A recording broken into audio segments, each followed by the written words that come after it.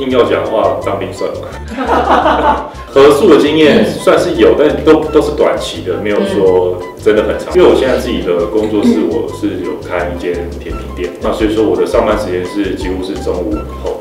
会煮了，煮出来能不能吃是另外一回事。但我自己吃是可以，但是煮给别人吃我不太敢。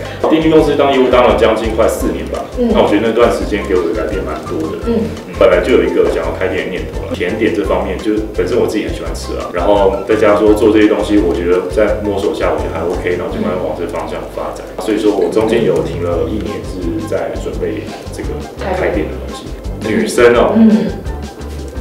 我我喜欢女生啊，一时可能讲不出来，可能就是自己有自己的想法跟自己的目标的人会比较好聊天。承认多少会，但是我觉得主要还是要，如果你自己有个想法，我觉得比较重要以前有玩过乐团，但乐团就没有玩，都是鼓手。高中玩到当兵前，然后但我的乐风是比较小众点，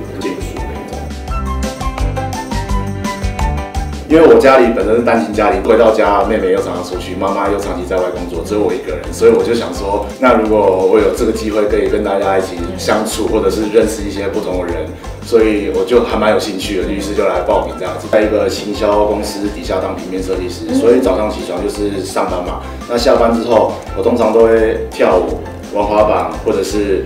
上一些线上课程，生二十七年，认真 啊，认真。我算是微洁癖吧，微而已，没有没有到很严重。看到地上有直袖，我是会去想捡起来。说是 B boy，不过我现在比较喜欢混，随便啊，就是 freestyle。对，如果我心里有对他有一些想法的话，可能会会害羞了。就单身二十七年就，可是如果没有的话，我就就很哥们那样子。对对对对对对对。学是念那个模特系的，我算对音乐比较有兴趣啊。我高中的时候是念音乐的，他本来就是开音乐教室，一个月两个月这样子，就是因为一部戏，然后我们住在一起。我现在算是自由业，比较长时间是在家里，早上起来九点左右有咖啡厅，嗯，看过我比较有兴趣的书这样。六点左右，对，在家吃。他失恋，在早上起。本来想说离开台北外面住，但又觉得外面住很花钱。如果有个机会可以就是在不一样的地方生，可以转移注意力。我写了超多话给他，就是挽回六封信吧，很长的信，而且都是那种大卡片，就写很满。可是他只回我一句说谢谢你这么爱我，祝福你。就是对我来说可能有点伤心嘛，对，来不及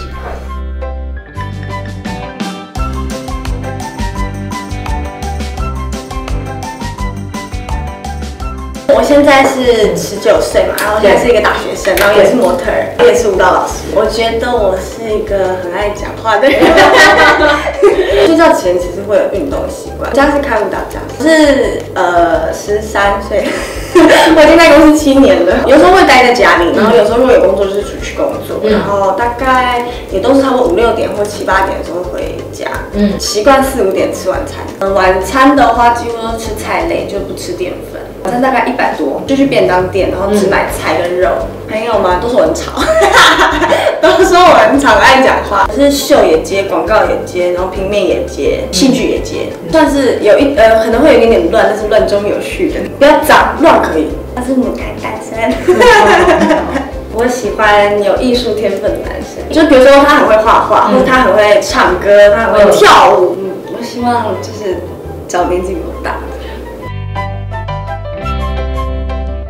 做的职业就是编剧嘛，自己也是演员，所以有时候也下台去演。平时休闲娱乐，看看电影，看看小说，看看 A 片那样。我我有个特别喜欢的系列，有有个系列很棒，是欧美，然后它叫 Fake Taxi，很早睡，大概十一点十二点就睡，他听到催眠频率睡觉，有的时候四点就会醒来。就是清醒一下，大概五五六点的时候再回去，七八点的时候起来。如果有剧本的话，九点的话要到工作室去开会。我真的吃的超乐色，就是我阿妈开会一直摇头的那种。有的时候会买，比如说一个主食，然后再买三个面包，这样晚上就可以边看剧然后边吃。我只会煮蛋包饭、咖喱饭、炖牛腩、卤肉把乳包丢进去，然后用压力锅这样压起来。上一段感情大概一年，毕业毕业之前。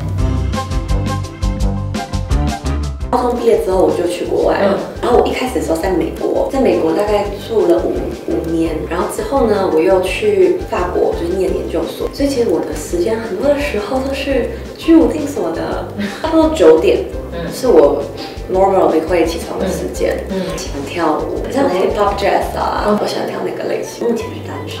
那三年多了哦哦，我喜欢的男生。哦，我很喜欢狮子座男生。我跟你讲，我都是一见钟情，我很容易很 crush，嗯，就是我还蛮相信一见钟情哦，因为我的婚神星在狮子座。但是我最喜欢的男生通常是两种，第一种方式是如果是一个团体，可是我跟这人就是不熟，我就是会一直不理这个人，就是你要发现我喜欢谁是非常容易的，我在一个团体里不理谁，就是不然我觉得喜欢。